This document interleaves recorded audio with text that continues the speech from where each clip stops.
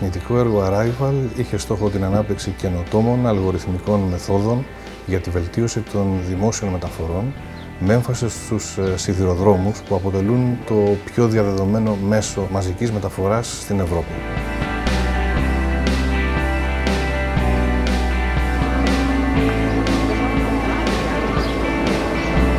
Το Arrival δόθηκε πολύ μεγάλη έμφαση στην αυτοματοποιημένη αντιμετώπιση των καθυστερήσεων, διεξάγοντας θεμελιώδη έρευνα για τον καλύτερο προγραμματισμό των δρομολογίων, καθώς και για την αυτοματοποιημένη έγκαιρη και αποτελεσματική αντιμετώπιση των καθυστερήσεων στα σιδηροδρομικά δίκτυα.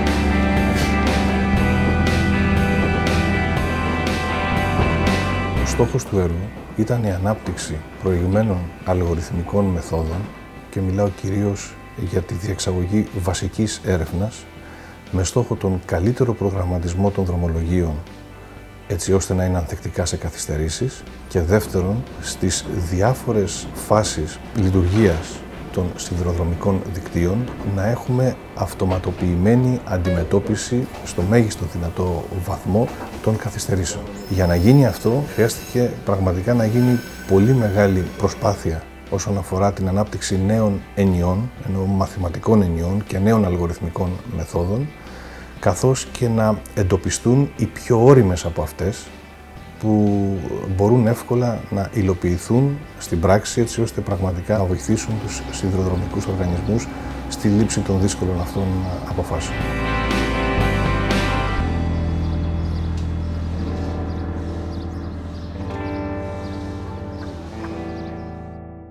Οι προηγούμενες μέθοδοι ε, ερευνούσαν ένα πολύ μεγάλο μέρος του δικτύου, το οποίο απεικονίζεται με μαύρο χρώμα. Δηλαδή είναι το τμήμα του δικτύου το εξεταζόμενο από τον αλγόριθμο.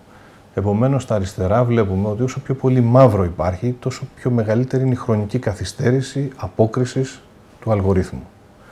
Αντίθετα, δεξιά βλέπουμε την απεικόνηση του αλγορίθμου που αναπτύχθηκε στα πλαίσια του Arrival, πάλι για την ίδια διαδρομή και βλέπουμε ότι εκτός από την κόκκινη βέλτιστη διαδρομή, το τμήμα του δικτύου το οποίο είναι μαύρο είναι ελάχιστο σε σχέση με αυτό που είχαν οι προηγούμενες μέθοδοι. Γι' αυτό μπορέσαμε να πάμε από μερικά δευτερόλεπτα σε χιλιοστά του δευτερολέπτου.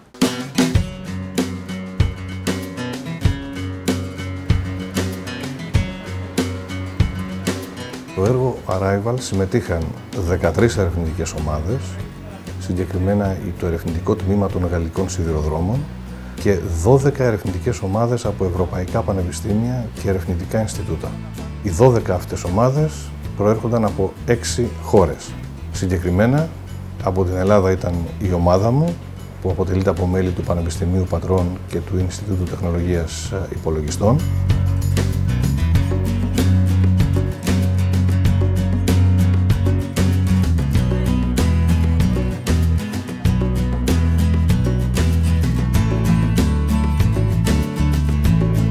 Η αλγοριθμική καινοτομία που παρήχθη από το έργο Arrival μπορεί να εστιαστεί καταρχήν στις υπεραποδοτικές λύσεις για έβρεση βέλτιστων διαδρομών σε μερικά χιλιοστά του δευτερολέπτου, στον ανθεκτικό σχεδιασμό ε, και χρονοπρογραμματισμό πολύπλοκων δικτύων ευρείας ε, κλίμακας, την αποτελεσματική αντιμετώπιση των καθυστερήσεων εφαρμόζοντας μεθόδους πρόληψης και θεραπείας, Δηλαδή, ανθεκτικός σχεδιασμός, σχεδιάζουμε έτσι τα δρομολόγια ώστε να αντέχουν στο μέγιστο δυνατό βαθμό φυσικά σε καθυστερήσεις και η θεραπεία, αν πραγματικά συμβεί, έπεσε ένα δέντρο στις γραμμές ενός τρένου.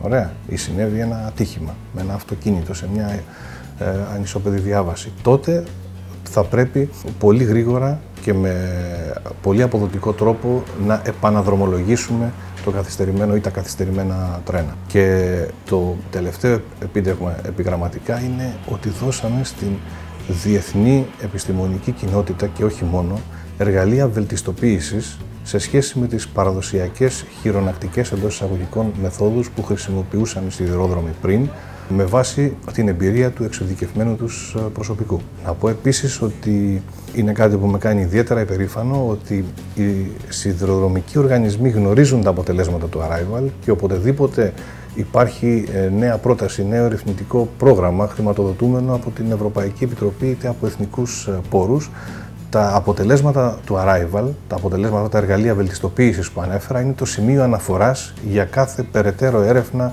που διεξάγεται στο χώρο αυτό.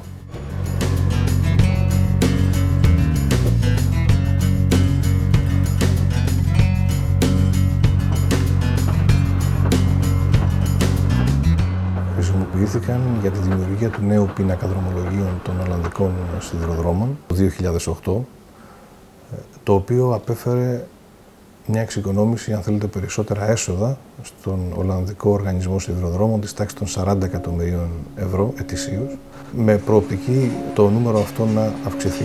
Μειώσαμε επίσης το μέσο χρόνο καθυστέρησης στο μετρό του Βερολίνου από τα 3,5-4 λεπτά στα 2,5, μάλιστα υλοποιώντας τα δρομολόγια με έναν σειρμό λιγότερο. Και τρίτον, βρήκαν εφαρμογή στην ε, προσθήκη περισσότερων τρένων στους ελβετικούς σιδηροδρόμους που αφορούν πυκνά δρομολογημένους συγκοινωνιακούς διαδρόμους μεταξύ της Νότιας Ευρώπης και της Βόρειας Ευρώπης επειδή η Ελβετία λόγω της γεωγραφικής της θέσης βρίσκεται κάπου ανάμεσα.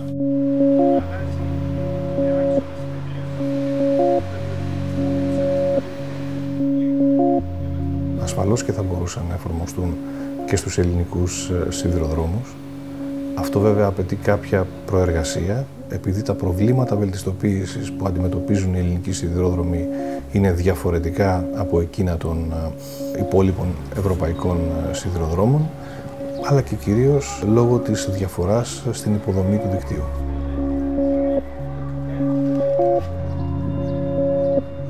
Συνολικά το έργο απέσπασε 15 διεθνή επιστημονικά βραβεία, με κορυφαίο το βραβείο Έντελμαν το 2008.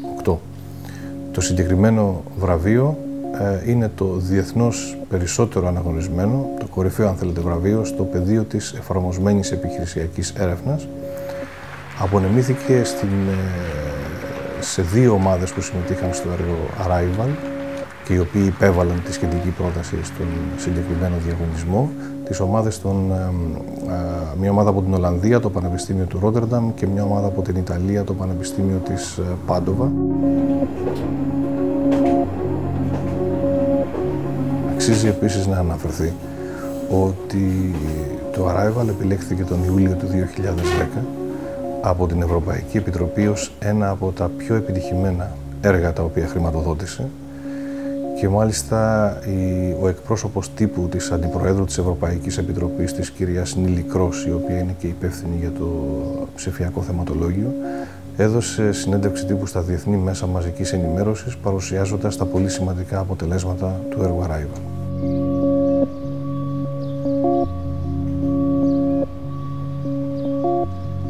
Αυτή την περίοδο είμαι συντονιστής και επιστημονικός υπεύθυνος ενός νέου ερευνητικού προγράμματος με το ακρονίμιο ECOMPAS.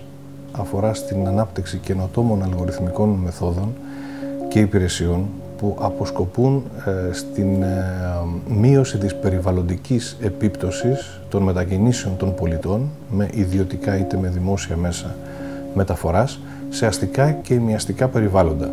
Κάποια άλλα ε, μελλοντικά ερευνητικά μου σχέδια αφορούν στον ανθεκτικό σχεδιασμό ε, ενεργειακών συστημάτων και κυρίως τη βελτίωση των συστημάτων λήψης απόφασης σε αυτά και για ενεργειακά συστήματα και δίκτυα μιλάμε για όλο το φάσμα από την παραγωγή, μεταφορά και διανομή της ε, ενέργειας.